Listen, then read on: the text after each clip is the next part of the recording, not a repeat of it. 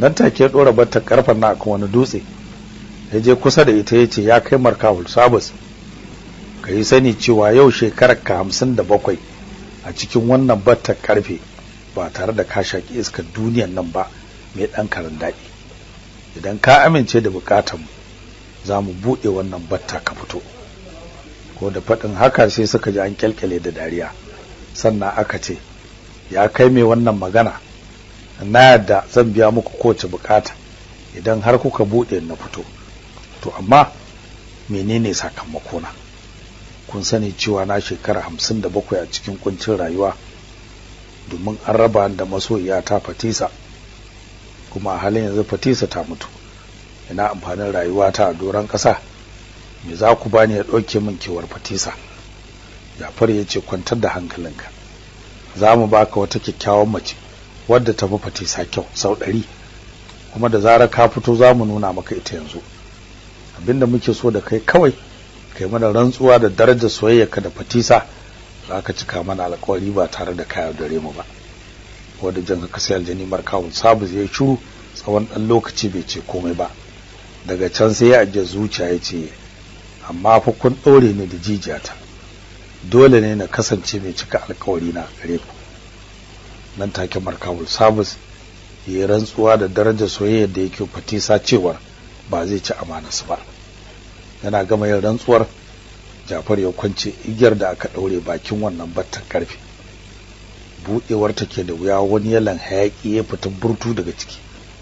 Ya tsiri zuwa sararin samaniya kamar zai tokare da hadari. Sannan a hankali hayaƙin ya rikide ya zama wata jibgiyar halitta. Ta wani kyakkyawan aljani mai siffar bil'adama markawul sabus ya miƙa game da doguwar hamma sannan ya dubi su jafar da su aljani nargas waɗanda ke gabansa tamkar kiyashi. Sai cika da mamaki ya ce oh yanzu waɗannan ƙananan halittun ne suka ceto rayuwata daga hannun sarki lumanu lalle na yarda cewa mai nisan kwana shi zai sha kallo a duniya. Tabbas kun cika hatsabi bai. Markahul sabus na gama faɗin haka sai ya sake rikida girmansa ya ƙara kankancewa ya dawo daidai da na bil'adama.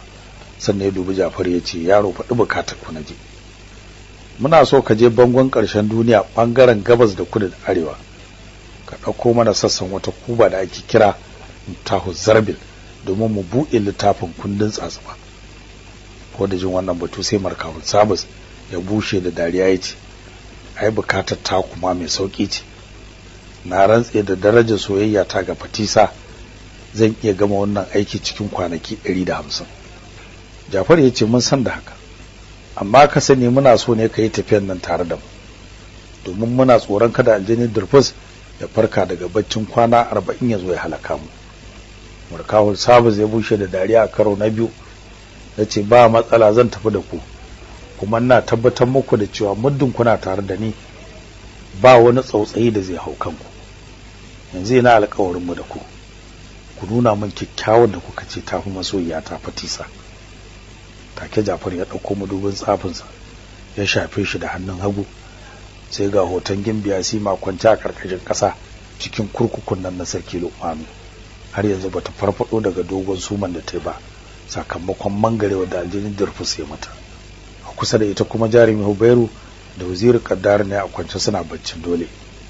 Yayin da aljini Markawul Sabu zai arba da sima sai kyawun ta ya bugi zuciyarsa ya rude kuma ya emote. Yace tabbas wannan mace ta fi masoyiya ta fite sa kyau.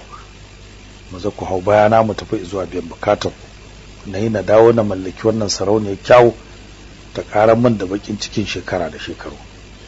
Take markawul sabu zai sake rikida ya zama babbar halitta.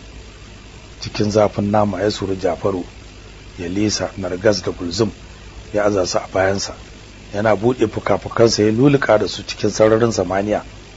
Yana mai keta hazo cikin tsananin gudun da ya fi na tauraruwa mai wutsiya.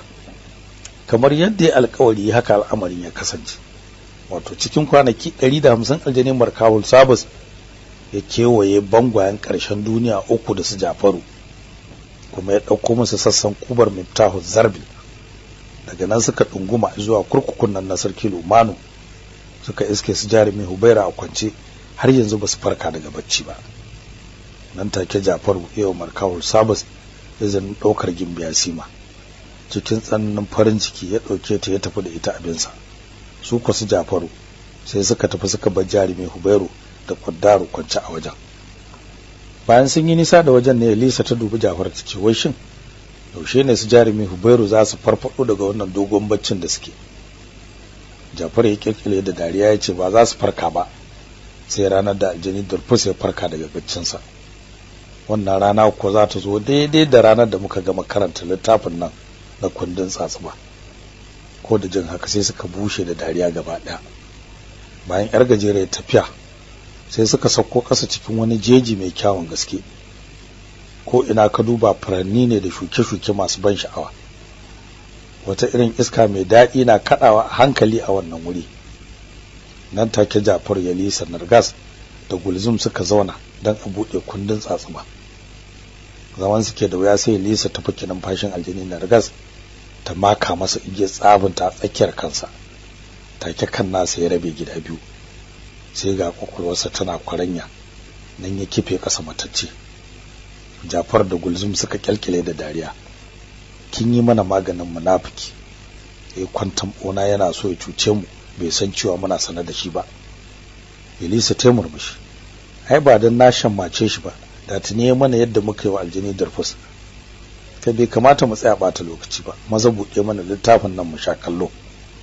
Take Jafar ya fito da kuban nan ta miftahu zarbil ya zura a cikin kafarta da ke jikin kundin tsatsuba. Ya murda hannun hagu. Sai ku suka ji ta yi ƙara alamar littafin ya buɗe. Jafar ya zare kubar sannan ya daga bangon kundin tsatsuba a hankali cikin tsoro-tsoro. Yana buɗewa suka yi arba da hoton wata kahatuwar rijiya bisa shafin farko. A saman rijiya an yi rubutu layi huɗu Jafar ya dubi Elisa da Gulzum ya ce a cikin ku waye zai karanta mana wannan bayanin? Elisa ta ce babu wanda ya cancanci ya karanta sai kai. Tunda dai duk kafi mu rashin tsoro ni kam yanzu har jikina ya fara bari shi ko Gulzum sai ya ce ni kam ina daga baya baya da na ji kaya kaya zan cika wandona da iska. Jafar karanta mu ga abin da zai faru. Ba tare da fargaba komai ba sai Jafar ya so karatu kamar haka. Wannan rijiya rijiya ce ta bala'i da masifa. An gina ta kimanin shekaru dubu ɗari uku baya. Mai karatu shigo ciki ka gane wa idanunka. Jafar na gama wannan karatu sai wata irin iska mai tsananin ƙarfin tsiya ta fito daga cikin kundin tsatsuba gaba ɗaya duniya ta hau tangal-tangal. Kafin jafar da sai lisa sa an karata ni iskan nan ta zuke su. Sun zama 'yan ƙanana mini-mini sun shige cikin wannan littafi.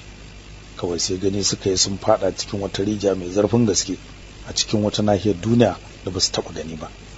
Jafar yalisa da gulzum suka yi ta tafiya cikin ƙarƙashin rijiyar nan sululu tafiya ta ki karewa sai da suka shafe kwana uku suna shigewa cikin rijiyar nan sannan suka riske ta wani abin mamaki ƙarshen rijiyar turba ce ko kaɗan babu ruwa ciki.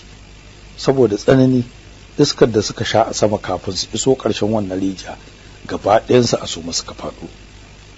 Ba su farfaɗo ba sai bayan sa'a ashirin da huɗu ko da suka farka sai suka yi ido biyu da wata ƙofa wacce za ta iya fitar da su daga cikin wannan rija. Nan fa suka tsaya suna kallon juna. Kowa idanunsa ya zaro kamar a ce cat su fita da gudu don tsananin tsoro. Elisa ta dubi Jafar ta ce wai shin nan a ina muke ne? Jafar ya ɓata rai sannan ya ce ya zaki tambayi kaza hanyar rafi? Sai ki nemi agwagwa ki sha labari. Gulzum ya ce duk jin ku nake kawai. Ai a nan babu rafi babu agwagwan ma. Balle a samu labarin. Ko kun san ku a cikin wata duniyar daban muke? Na rantse da girman tsafi wannan duniyar ba irin tamu bace dan komai nata daban ne da irin tamu. To yanzu menene abin yi? Yalisa ce ta saki tambaya. Abin yi kawai mu tashi mu buɗe wannan ƙofa mu fita. In ya so sai mu ga inda za ta kai mu. Karambaninmu ne da ya jawo mu cikin masifar da ba mu san farkonta ba. Balle ta kawai sai Jafar ya miƙe tsaye je buɗe wannan ƙofar gaba ɗayansu suka leƙa waje. Rashin sani ya fi dare duhu inda su Jafar sun san abin da za su gani a wajen wannan ƙofa da ba su buɗe ba. Ba komai ba ne sai ruwan teku. Iya hangen su gabas da yamma kudu da arewa. Ruwa ne ita kanta wannan rijiya da suke ciki. A tsakiyar teku take bisa wani dan mitsitsin tsibiri. Nan fa hankalin sai tashi. Suka rasa abin da ke musu daɗi. Jafar ya dubi Gulzum ya ce ai kai aljani ne kana da fuka-fukai. Me zai hana ka ɗauki mu ka ƙetare tekunan nan Gulzum ya ce tabɗija inda zan iya aiki da fuka-fukan nan ai da tun ne amfani da su tun sa'a da muka faɗo cikin rijiyar nan. Na gaya muku fa wannan duniyar ba irin tamu ba ce. Ba abin da za mu iya yi da kanmu. Kun ga ku dubi sararin samaniya.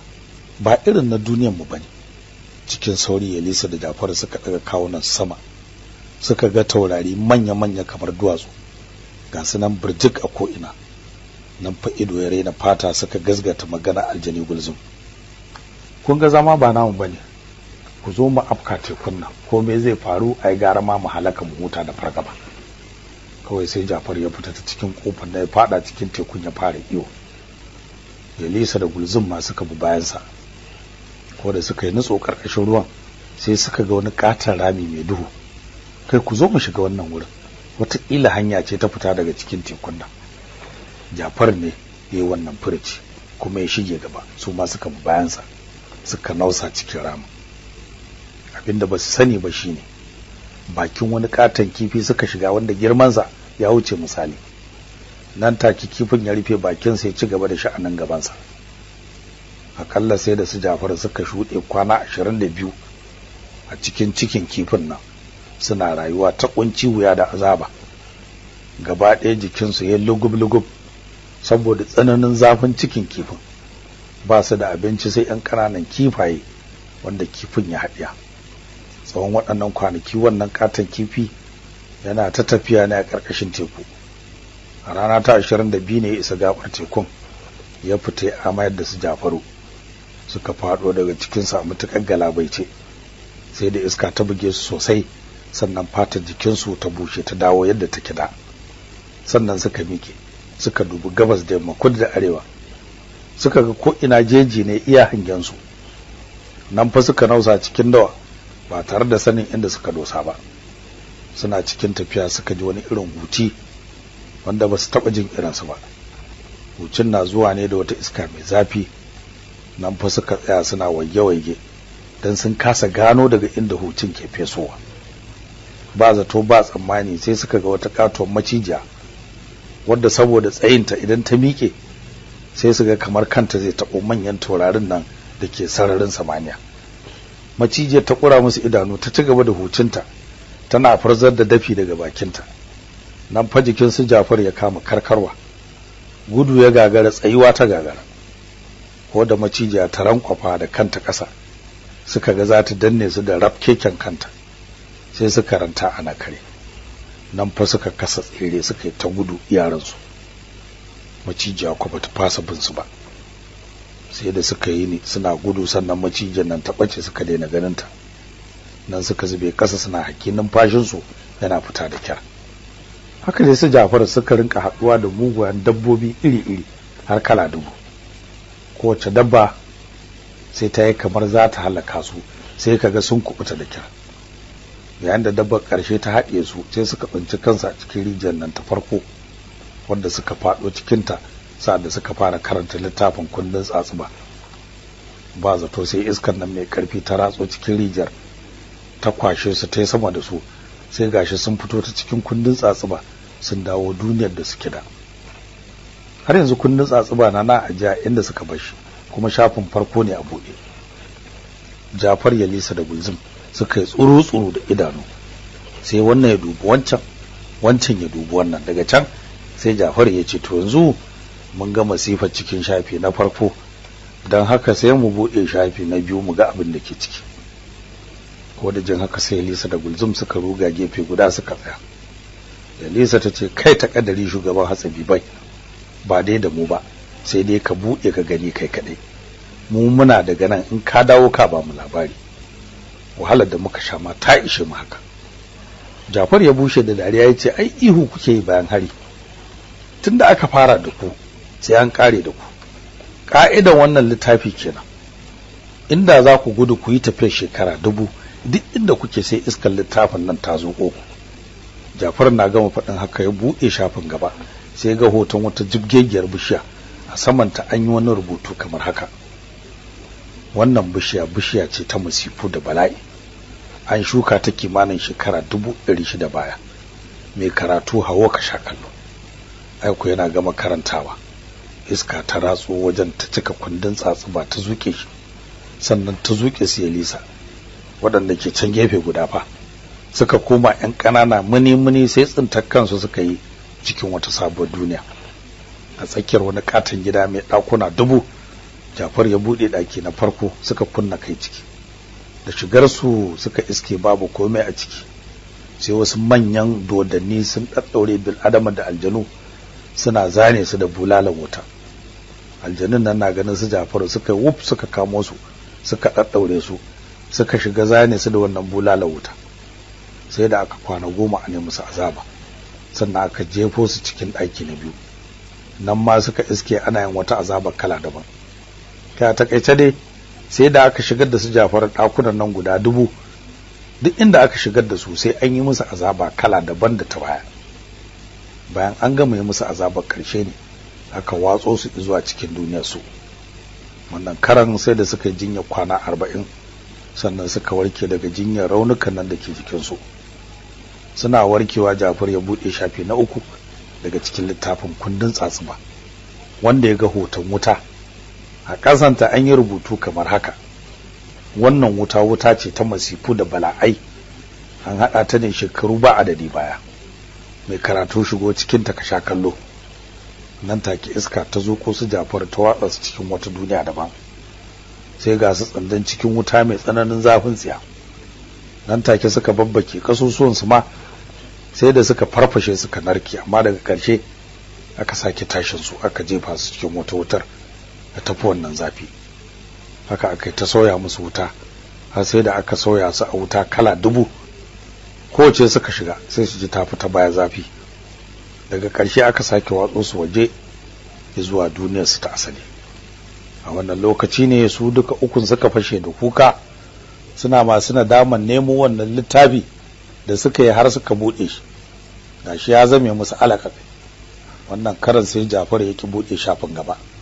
Ya tsaya kawai yana kallon littafin. Hawaye yana zuba daga idanunsa. Ko da aka samu daƙiƙa sittin a haka sai shafin littafin ya buɗe kansa zuwa na huɗu take Jafar ya arba da hoton kankara a saman kankarar an yi rubutu kamar haka. Wannan kankara kankara ce ta masifu da bala'ai. An samar da ita shekara aru aru baya. Mai karatu shigo cikin ta kasha kallo. Wata siri da murya ce ta wannan karatu ba tare da an game ita ba. Muryar na yin shiru sai iskar nan mai ƙarfin tsiya ta fito daga cikin kundin tsatsuba ta zuke jafar da elisa da gulzum suka zama yan ƙanana muni-muni suka shige cikin kundin tsatsuba nan wannan littafi kundin tsatsuba na ɗaya ya zo ƙarshe marubucin ya ce mu haɗu a kundin tsatsuba littafi na biyu. Muna fata masu sauraro kun ji daɗin wannan littafi kundin tsatsuba na ɗaya wanda abdulaziz sani madakin gini ya rubuta. Mai karantawa muhammad umar kai gama. Ke muku fatan alheri sai mun sake saduwa.